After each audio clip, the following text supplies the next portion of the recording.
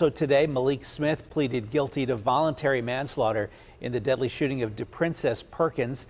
That happened in Kennedy Township last year. Police say a verbal altercation at the Kennedy Lanes continued outside and led to gunfire.